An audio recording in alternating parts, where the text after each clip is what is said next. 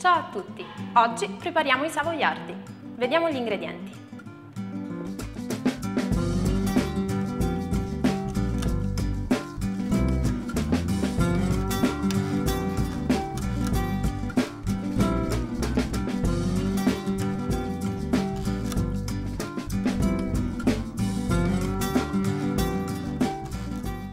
Montate gli albumi con lo zucchero semolato.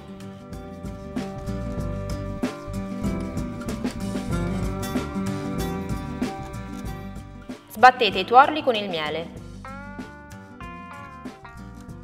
Versate gli albumi montati in un recipiente più grande e unite i tuorli a filo e poco alla volta, mescolando delicatamente.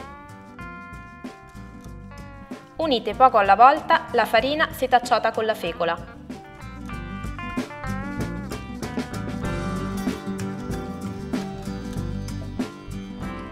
Mescolate e mettete il composto in una sacca da pasticceria.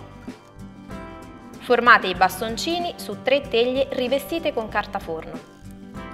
Spolverizzate la superficie dei biscotti con lo zucchero a velo. Cuocete a 190 gradi per circa 10 minuti. I savoiardi sono pronti. Un saluto da Francesca Romana Colletti.